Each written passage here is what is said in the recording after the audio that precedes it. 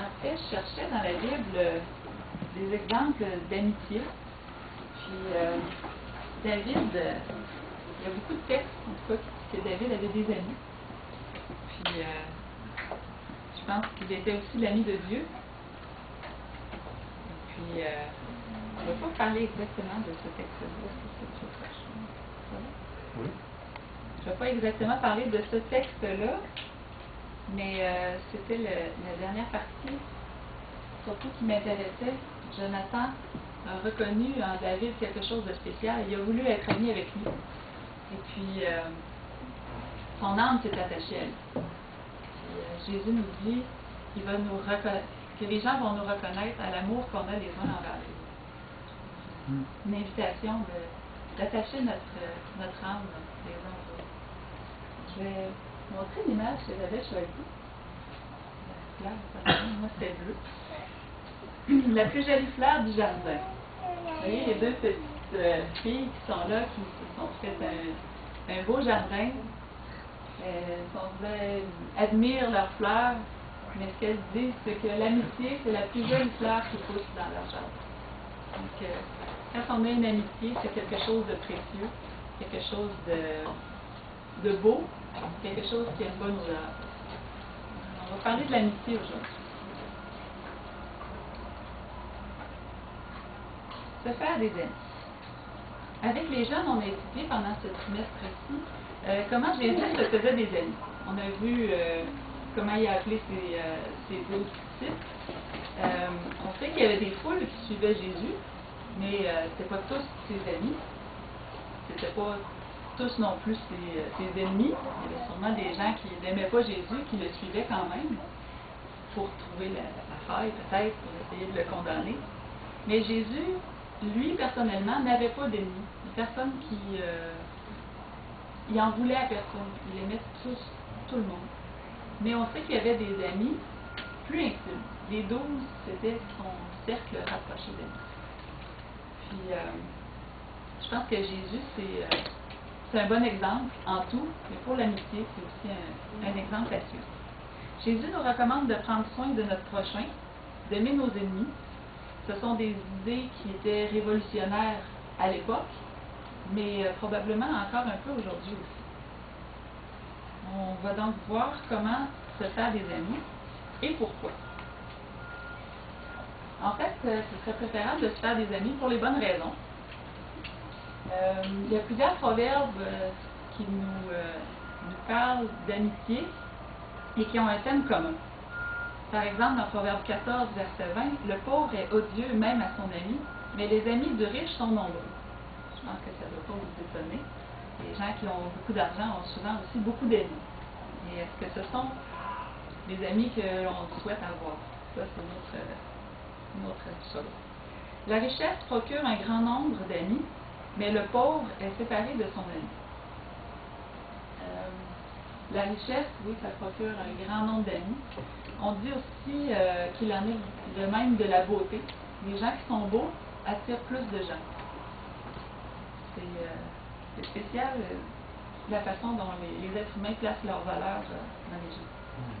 Beaucoup de gens flattent l'homme généreux et tous sont les amis de celui qui fait des présents. Toujours le fun d'avoir un ami qui, euh, qui nous donne plein de cadeaux. On a dit ça, avoir des attentions. Donc, euh, si on se fait des amis, il faut ce soit pour les bonnes raisons. Pour l'argent, c'est pas une bonne raison. Certains aussi vont vouloir avoir des amis pour pas être seuls, pour se sentir utile ou aimé, pour être populaire. On voit ça beaucoup à l'école. Ceux qui ont beaucoup de. Quoi, les enfants, là, ils me parlent de. Ah, tel, là, il a tellement d'amis, il a son gros cercle autour de lui. Alors, qu'est-ce qu'on conseillerait à quelqu'un qui veut beaucoup d'amis? Euh, de gagner euh, le loto, de se faire des chirurgies plastiques pour être beau, parce que c'est ça les, euh, valeurs qu'on a en tant que chrétien.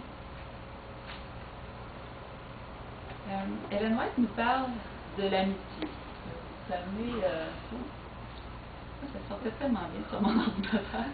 Pas grave, je vais vous le lire.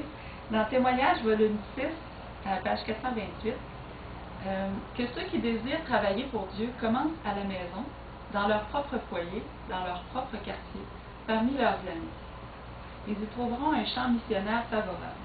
Ce travail missionnaire est un test révélant leur capacité ou incapacité pour le service dans un champ plus vaste.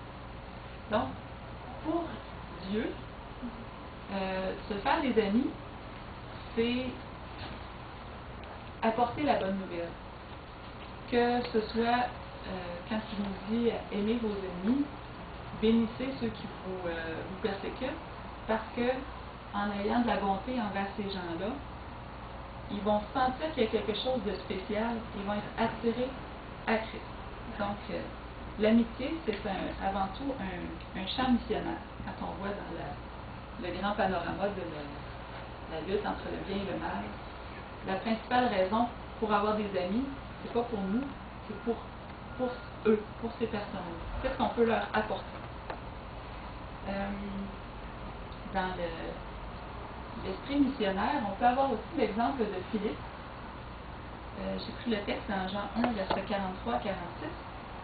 Au début, lorsque euh, Philippe a entendu parler de Jésus, c'est par, Jean-Baptiste qui a pointé vers, euh, vers Jésus et qui a dit maintenant, c'est lui que vous devez suivre.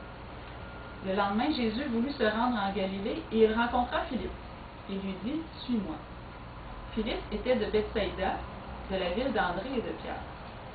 Philippe rencontra Nathanaël et lui dit, Nous avons trouvé celui de qui Moïse a écrit dans la loi et dont les prophètes ont parlé, Jésus de Nazareth, de Joseph. Nathanaël lui dit, Peut-il venir de Nazareth quelque chose de bon? Philippe lui répondit, Viens et vois.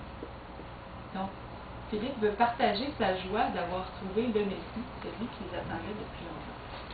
Donc, quand on a quelque chose de bon, quelque chose qu'on veut partager, on va aller naturellement vers nos amis parce qu'on veut leur partager la bonne nouvelle. Matthieu 5, verset 43 à 48, Je vous avez appris qu'il a été dit, tu aimeras ton prochain et tu haïras ton ennemi. Mais moi je vous dis, aimez vos ennemis, bénissez ceux qui vous maudissent, faites du bien à ceux qui vous haïssent, et priez pour ceux qui vous maltraitent et qui vous persécutent afin que vous soyez fils de votre Père qui est dans les cieux. Car il fait lever son soleil sur les méchants et sur les bons, et il fait pleuvoir sur les justes et sur les injustes. Si vous aimez ceux qui vous aiment, quelle récompense méritez-vous? Les publicains aussi n'agissent-ils pas de même? Et si vous saluez seulement vos frères, que faites-vous d'extraordinaire? Les païens aussi n'agissent-ils pas de même? Soyez donc parfaits comme votre Père céleste est parfait. La perfection, c'est donc d'aimer sans attendre en retour. Aimer tous sans exception. Puis en tant qu'enfant de Dieu, on a une mission. La mission de d'apporter cette, euh, cet amour que Jésus nous a euh, implanté dans le cœur. Euh, je reviens ici, vous avez mis en, en caractère gras. Il fait lever son soleil sur les méchants et sur les bons est-ce qu'on voit des, des, nuages seulement au-dessus des gens qui, qui sont méchants, comme dans les petits bonhommes, ceux qui sont fâchés, ils ont des nuages, euh, ou euh, à l'inverse, si on est cultivateur, on aimerait avoir de la pluie. Donc, est-ce que Dieu choisit sur qui il va faire pleuvoir? Non, sa bonté est pour tous. Et il nous appelle aussi à faire de même. Pas d'être amis seulement avec des gens qui sont agréables, serait, selon nous, digne de notre ami. Euh, White nous dit dans le ministère de la guérison, le Christ est venu pour abattre tout mur de séparation. Il vint pour montrer que ses dons de miséricorde et d'amour sont aussi illimités que l'air, la lumière ou les averses de pluie qui rafraîchissent la terre. L'amour qu'il a envers les êtres humains, c'est pour toutes les, les catégories de gens hommes, femmes, euh, riches, euh, pauvres, petits ou grands, petits jusqu'au plus Il nous dit aussi, vous êtes la lumière du monde. Dieu a fait pleuvoir, comme on disait, sur les justes comme sur les injustes. Et la lumière, quand il nous dit, vous êtes la lumière du monde, la lumière que nous devons apporter dans ce monde, celle qui nous vient de, de Dieu, doit briller aussi pour les gens qui sont agréables ou désagréables. Je ne dirais pas aimables ou pas aimables, parce que sont aimables. Même dans notre vocabulaire, souvent, on, on dit cette personne-là et qu'elle n'est pas aimable. Mais non, elle est aussi digne d'amour. On va voir maintenant des petites euh, techniques pour se faire des amis. Ça vous intéresse? Euh, on nous recommande de poser des questions pour mieux connaître les gens. Que Jésus se familiarisait avec les intérêts des gens autour de lui, leurs occupations l'intéressaient aussi, afin de gagner l'accès de leur cœur et de leur révéler les richesses impérissables. Moi, j'ai souvent vu des, euh, formations, comment se faire des amis dans l'Église pour faire de l'évangélisation. Là, c'est rendu une technique pour aller euh, chercher des gens, faites-vous des amis, et après ça, ramenez-les à l'Église. En théorie, c'est bien, parce que on va aller chercher des, plus de gens qui vont connaître Dieu. Sauf que, est-ce que c'est ce qui doit nous motiver de faire des amis parce qu'il y a quelqu'un qui nous a dit, allez, faites-vous des amis? Non. Jésus, quand il familiarisait avec les, les gens, avec leurs besoins, c'était pas pour les amener dans la synagogue. C'était pour connaître leurs besoins, pour leur apporter la délivrance, pour leur apporter la paix, le bonheur, comme dans l'histoire de, Michel ce matin. Dis-moi ton besoin. Dis-moi qu'est-ce que tu euh, qu'est-ce que tu attends de moi. la personne a été guérie, elle a recouvré la vie. Donc, euh, euh, si on veut connaître quelqu'un, il faut le faire par des questions, entre autres. Euh, pourquoi j'ai écrit question ouverte ou question fermée? Est-ce que vous savez la différence entre les deux? Une question ouverte, c'est une question qui va appeler à une réponse euh, plus élaborée. Une question fermée, c'est oui ou non, euh, blanc ou noir. Euh, par exemple, la maman qui demande à sa petite fille, est-ce que tu as eu une bonne journée aujourd'hui? Oui. Question fermée. Ça arrive là. Là, il faut reposer nos questions. Qu'est-ce que tu as fait? Pas grand-chose. Est-ce que. Qui est-ce que tu as vu aujourd'hui? Bon. Pas grand monde. C'est comme s'il faut toujours repartir la, la discussion. Une, exemple d'une conversation de questions ouvertes.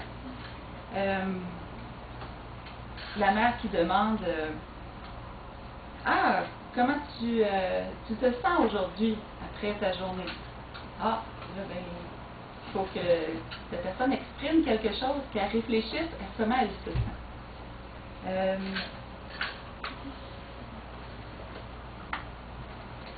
ah, j'aime, comme si elle demande euh, comment a été sa journée à l'école. Ah, ça peut être bien. Euh, pourquoi? Qu'est-ce qui s'est passé?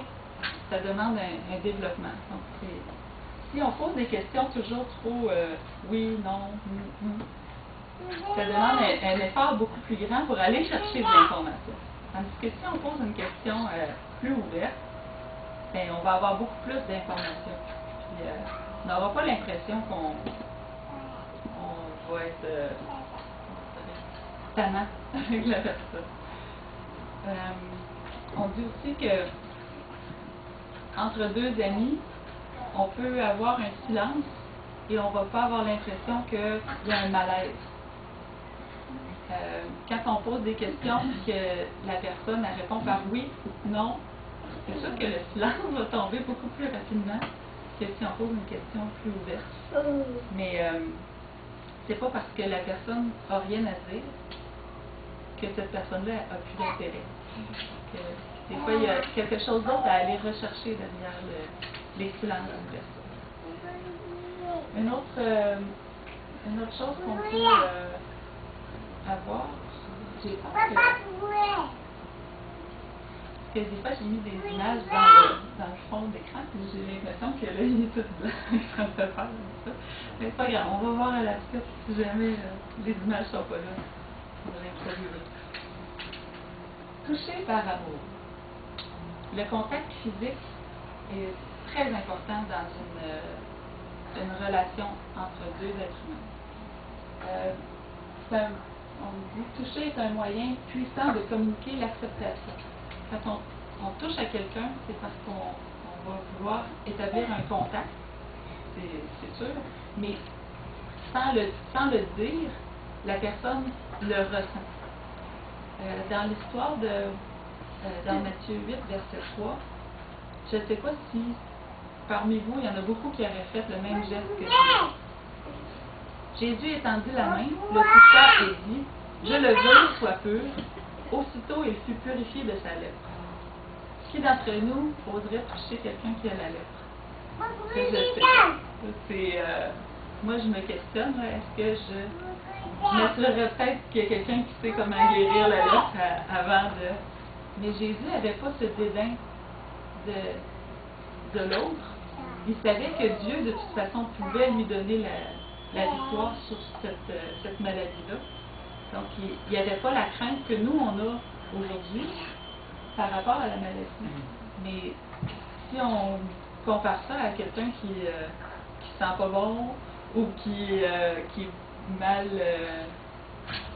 qui n'est pas, pas aussi intéressant que quelqu'un d'autre, est-ce que je, vais oser toucher cette personne-là? Comme des fois, on a une barrière psychologique qui nous empêche de, de tendre vers l'autre. euh, J'avais l'histoire de Marilyn Monroe que vous pouvez tous connaître. Euh, Lorsqu'elle était jeune, elle était ballottée d'un foyer d'accueil en foyer d'accueil. Puis, euh, vers l'âge de 8 ans, elle nous raconte euh, quelque chose qui est arrivé vers l'âge de 8 ans. Lorsqu'elle était très connue, une journaliste lui a posé la question de foyer d'accueil en foyer d'accueil. Est-ce que tu as senti un jour euh, ou à chaque fois que les gens t'aimaient? Est-ce que tu t'es senti accepté ou aimé dans ces foyers-là? Elle a dit, elle a réfléchi, elle a dit oui, une fois. Vers l'âge de 8 ans, elle était en train de regarder sa, la mère de famille, en train de se maquiller. Et puis, euh, elle faisait juste la regarder, comment elle faisait, puis elle devait l'admirer un peu. Puis, la dame a pris son euh, euh, éponge, ou son petit pinceau, elle a mis de la couleur sur les joues de, la, de Marilyn lorsqu'elle était petite. Tout ce qu'elle a fait. Puis, elle a continué à se, à se toucher là, aussi doux. Elle dit, à ce moment-là, je me suis sentie aimée. Aucun mot qui a été prononcé, juste le mm. fait de un toucher, une petite attention. Des fois, ça ne prend pas grand-chose pour que la personne se sente acceptée. C'est une autre façon de toucher. Les câlins. Tout le monde aime des câlins. Oui, on a mis ce câlin avec nous aujourd'hui. Savez-vous qu'il y a plusieurs types de câlins? Je vais commencer par vous dire qu'est-ce que les câlins ont de spécial. Lorsqu'on donne un bon câlin à quelqu'un, vous savez, c'est quoi un, un hug, là? C'est quoi? Les deux bras autour de quelqu'un. Mais ça a la capacité d'apaiser la douleur. Quand on pense à un enfant qui vient pour être consolé, c'est le geste qu'on fait. Euh, ça abaisse les tensions entre deux personnes lorsqu'il y a un conflit. Un câlin, ça c'est. À moins qu'on ait peur de se faire étrangler, là, mais ça. Ça a aussi la capacité de donner de la force pour affronter une situation difficile. Voyez-vous qu'il y a des types de câlins? Je vais vous en parler un petit peu. Il y a les câlins en A. Ça, c'est lorsque les deux personnes se penchent l'un vers l'autre comme ça. Puis il y a seulement les épaules qui touchent. Ça, c'est un, câlin euh, qu'on fait aux gens qu'on peut-être qu'on connaît moins. Euh, c'est un câlin OK, on va dire. Il y en a des meilleurs.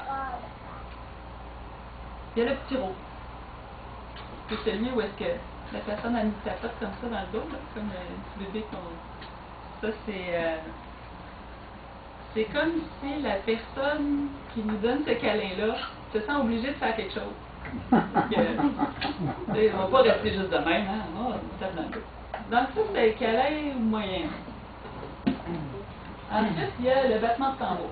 C'est pas un solo de drum, là, mais euh, quand, je peux le faire comme ça, quand la personne elle, elle tapote là, trou, trou, dans le dos, là, ça c'est euh, comme si la, la personne elle, elle se trouve quelque chose à faire, bon, peut-être que ça finit là?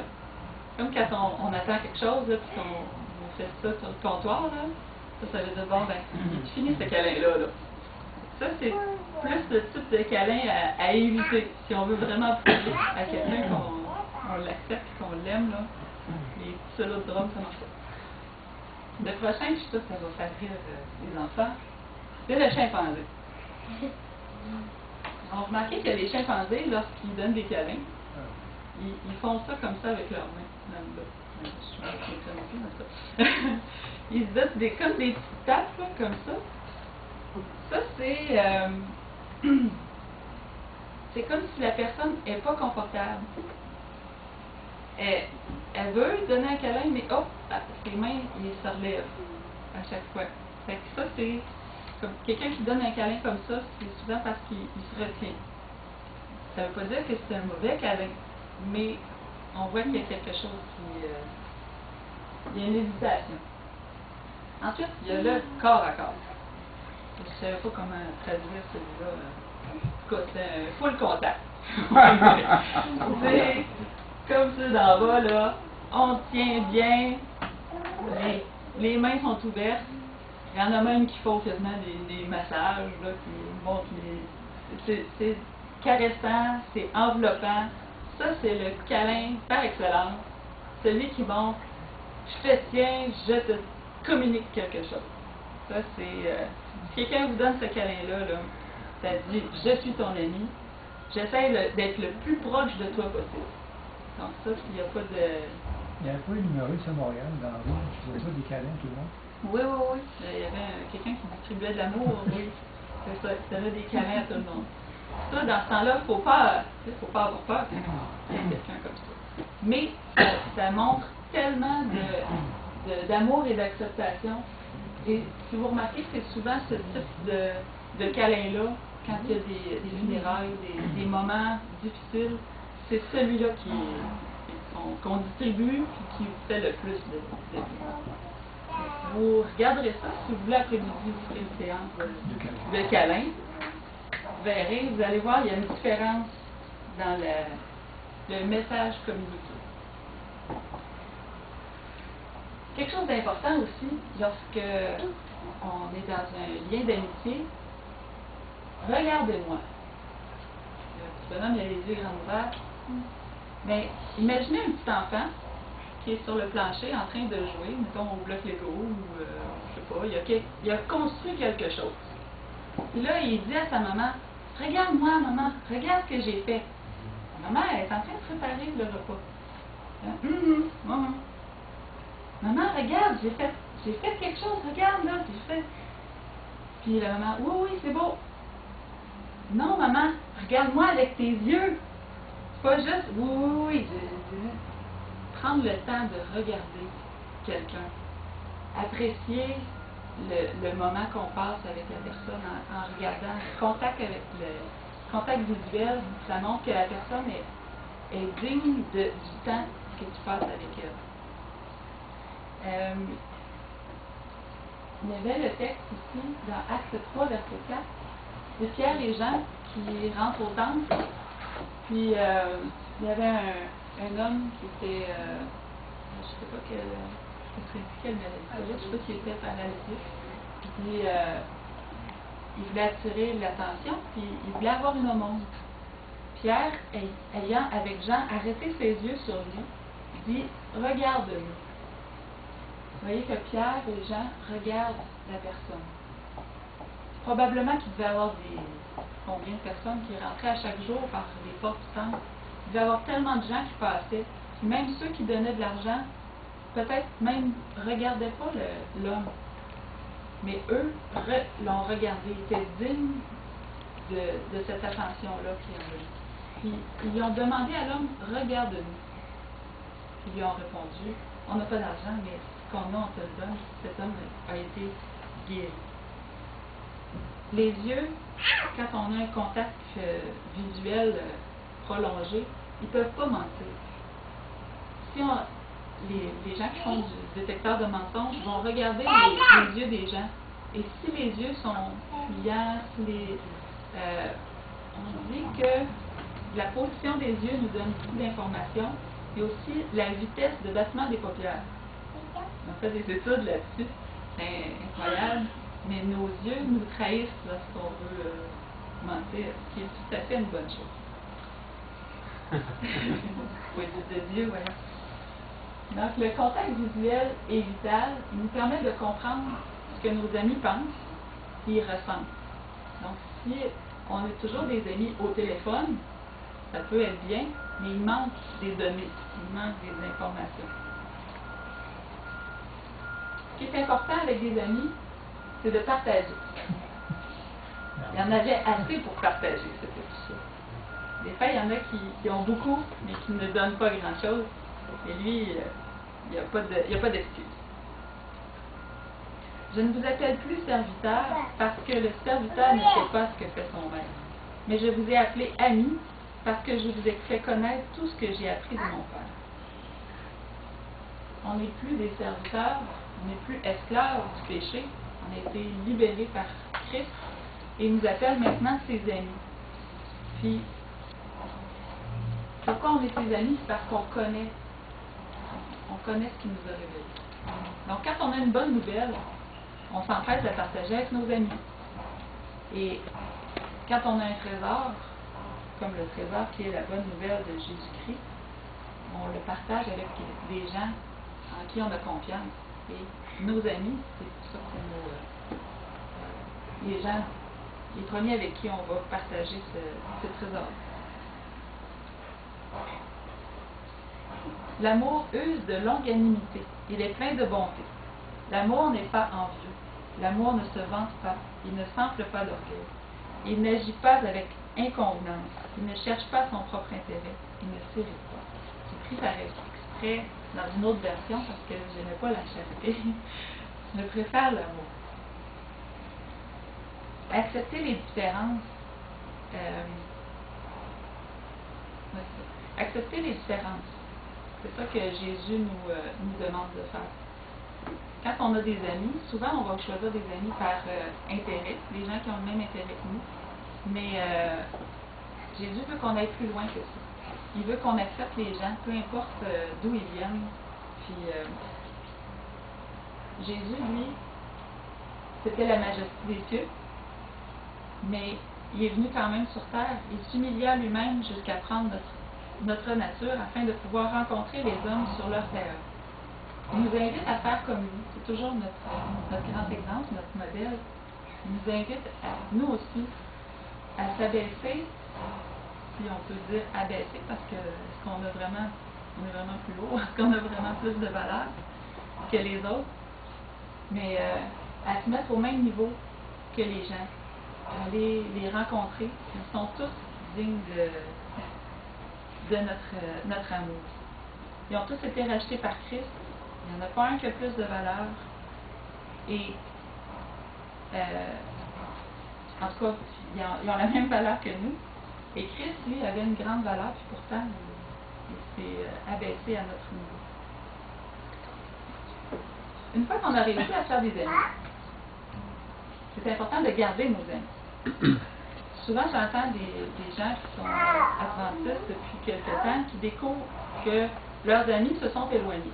Avant, il y avait plein d'amis, puis là, ben, tout d'un coup, ils se retrouvent qu'ils n'ont plus d'amis, sauf peut-être les, gens de leur église. Mais c'est notre responsabilité d'entretenir les liens avec les gens, nos amis d'avant. Si c'est la volonté de Dieu, bien sûr, parce que si ce sont de mauvais amis, euh, peut-être que c'est mieux de, s'en éloigner, mais ce serait. Euh, ça ne devrait pas venir de nous on ne devrait pas se couper de quelqu'un si cette personne-là veut de notre amitié. Ça ne veut pas dire que cette personne-là va rester notre ami intime. On peut euh, remplacer euh, par d'autres personnes. Puis, si vraiment Dieu veut nous couper de cette personne-là.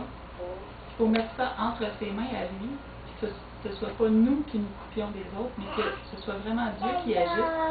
Puis euh, on le voit, souvent, il va prendre les choses en main, puis il va faire que les, chemins de deux personnes vont s'éloigner. Puis on va voir que vraiment c'était euh, pour notre bien, peut-être même pour le bien de cette personne-là. Euh, ces gens-là ont été placés sur votre chemin. Donc, vous êtes peut-être le, le, moyen que Dieu a choisi pour présenter le, le, la vérité à cette personne-là. Mais ne croyez pas que vous mettez-vous pas le, fardeau que si vous ne parlez pas à cette personne-là, la personne est perdue. Parce que ce n'est pas nous qui sauvons, c'est Dieu qui sauve. Amen. Si on peut être un instrument entre ses mains. Gloire à Dieu. Pour garder nos amis, il est important de s'investir. Que chacun de vous, au lieu de considérer ses propres intérêts, considère aussi ceux des autres. Donc, on a tous euh, un temps limité, 24 heures dans une journée, mais si on, gère bien notre temps, on a du temps pour les autres. Euh, L'attention qu'on donne, les petites attentions, c'est ça s'investir dans une relation. Euh, par nos gestes et nos paroles, on peut. Que je voulais dire, c'est que nos gestes et nos paroles doivent être en accord. Si on dit euh, à quelqu'un que cette personne-là est importante pour nous, il faut que nos gestes le prouvent aussi. Si ton ennemi a faim, donne-lui à manger. S'il a soif, donne-lui à boire. Quand on parle de l'histoire du, du bon samaritain, c'est toujours euh, l'histoire par excellence pour montrer un amour désintéressé. La personne sur la route, elle n'avait rien à, lui donner. S'il l'a fait, c'est parce que ça venait de, de son cœur, c'est l'amour que Dieu avait placé. Mais il l'a fait pour son ennemi. Alors, combien plus il serait facile de le faire pour nos amis. Est-ce que vous connaissez votre adresse? Tout le monde connaît son adresse, hein? Il n'y a pas pas de la que vous aimeriez habiter sur cette rue? La médisance, c'est un tueur d'amitié. C'est un poison qui, euh, qui dévore les, les amitiés. Satan utilise souvent nos amis pour euh, nous semer de, des doutes chez nous. Mais souvent, lorsqu'on va euh, prendre, parce que la médisance, c'est quelque chose qui est pris soit hors de son contexte ou qui est faux ou non fondé et qu'on va répandre pour jamais pour le bien. Donc, Satan va utiliser ce, défaut-là, souvent de vouloir euh, dire quelque chose de nouveau. Et euh, il, va faire qu'on va rapporter des choses que des fois on ne sait pas si c'est vrai. On n'a pas été voir. Puis, euh, des fois, même la vérité n'est pas toujours bonne à dire en toutes circonstances, du moins. Donc, euh, la médisance, c'est un tueur de, de, ça. Si on prend l'exemple de Jean-Baptiste, euh, c'est pas tout à fait de la médisance, mais disons c'est le, le, doute qui a été implanté dans son esprit. Est-ce que si je suis en prison depuis si longtemps, euh, Jésus ne vient pas pour me, me libérer? Même ses amis étaient à l'extérieur, puis ils disaient, est-ce que vraiment, lorsque tu as annoncé que c'était le c'était le bon? Les doutes rentrent dans l'esprit parce qu'on apporte par nos paroles souvent des doutes chez les autres. Et ça, c'est pour, vraiment réfléchir avant de parler, pas essayer de, de, de semer le doute dans l'esprit des gens. Mais Jean a commencé à, se poser des questions tellement qu'il a envoyé des, de ses amis voir Jésus pour lui poser la question est-ce que tu es vraiment le Messie? Puis ça, ça a comme un effet domino où est-ce que Jésus aurait pu être ébranlé de ça. De ben là, si même Jean, mon cousin, celui qui a vu, le, qui a entendu le Saint-Esprit annoncer que j'étais le Messie, si lui commence à douter, mais Jésus s'est pas laissé euh, abattre par ça, il a démontré qu'il était le Messie. Il a demandé aux, amis de, de, Jean de rester avec lui toute une journée, puis d'aller voir ce qu'il avait vu. d'aller raconter à Jean qu'est-ce qu'il avait vu, puis ça a rassuré euh, Jean-Baptiste. Donc, quand il y a des choses fausses qui circulent, notre devoir, c'est de mettre un, un stop. Les rancunes sont aussi un danger dans les, relations entre, entre êtres humains. Donc, quand il arrive quelque chose, parce qu'il y a toujours des petites roches sur le, le sentier. Mais c'est à nous de décider qu'est-ce qu'on fait euh, avec ça. Euh, je vais sauter à la prochaine aussi, parce qu'avec la rancune, on nous parle de, de pardon, bien sûr. Euh, comment doit-on pardonner? Supportez-vous les uns les autres, si l'un a sujet de se plaindre de l'autre, pardonnez-vous réciproquement, de même que Christ vous a pardonné. Pardonnez-vous aussi. On doit donc suivre toujours le- l'exemple de Christ, mais euh, je vais vous montrer peut-être un, petit exemple de qu'est-ce que ça peut faire le- la rancune lorsqu'on n'accepte pas ce pardon. Est-ce que vous connaissez l'histoire de Paul ça dit lui donc, ayant secoué la bête dans le feu, n'en souffrit aucun mal. Et lorsque Paul était arrivé sur, euh, sur l'île de, de, de- c'est Chypre, en il y avait une vipère qui l'avait mordu. Euh, Puis Paul a pris la vipère et l'a jetée dans le feu. Puis il n'y a eu aucun, aucun mal de ça. Les gens ont dit, ah, c'est un Dieu. Mais euh, est-ce que l'histoire nous dit, euh, Paul prit la vipère, l'a mis dans sa poche? On aurait dit, voyons, il est fou.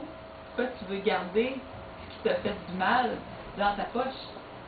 C'est pas, euh, c'est de la folie. Donc, quand on a quelque chose qui, qui nous a fait du mal, il ne faut pas le garder avec soi. Parce qu'il va nous faire encore plus de mal, plus longtemps. Il faut s'en débarrasser. Le jeter dans le feu, c'est un. Souvent, ce qui est, ce qui est utilisé en thérapie lorsque les gens ont des, euh, des rancunes, des choses depuis longtemps. Je suggère aux gens de d'écrire sur un papier, puis de jeter ce, ce papier-là dans le feu. Mais moi, je rajouterais l'étape dans le sentier euh, chrétien. Prenez le papier, jetez-le dans le feu, demandez à Dieu que ce- cette chose-là soit brûlée par lui pour qu'il n'y ait plus de place dans notre cœur pour ce, cette euh, blessure-là. Et puis, je vais.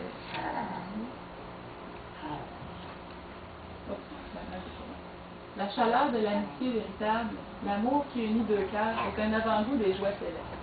Ne voudriez-vous pas que tous vos amis soient au ciel avec vous? Si vous voulez passer l'éternité avec quelqu'un, c'est bien de le faire avec euh, des gens que vous aimez. Donc, quand on a euh, euh, des gens qu'on aime, on va vouloir qu'ils soient avec nous plus longtemps. Euh, si Jésus nous dit aimez vos ennemis, c'est pas pour rien.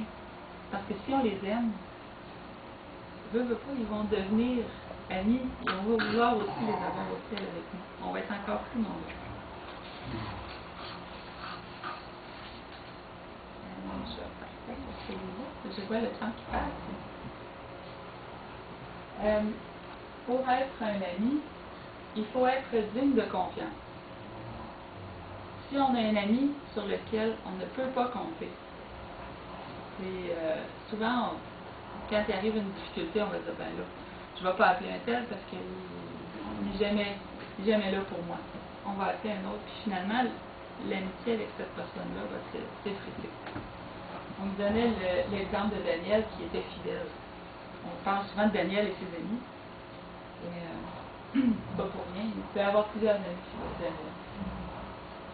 Euh, L'autre, c'est euh, dans le psaume 13, verset 6, c'est tiré des psaumes parce que justement David aimait tellement le Seigneur, c'était son bon ami.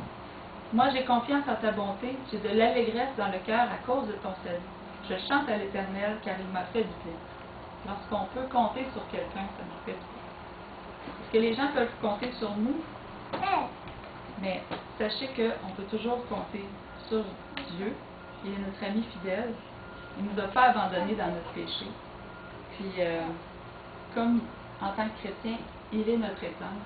Il faut aussi être fidèle. Je vais terminer avec euh, cette parole de Jésus. Il n'y a pas de plus grand amour que de donner sa vie pour ses amis.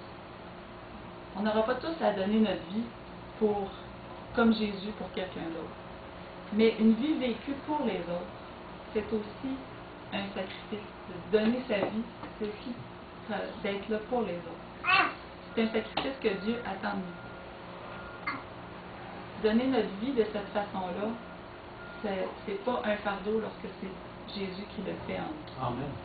Il veut qu'on goûte à cet amour-là, l'amour, le plus grand amour, donner notre vie pour les autres. Et c'est aussi mon souhait pour chacun d'entre vous, que vous puissiez goûter l'amour de ce grand amour-là en donnant votre vie pour vos amis comme pour vos ennemis. Et j'espère qu'ils ne sont pas nombreux. Alors, merci.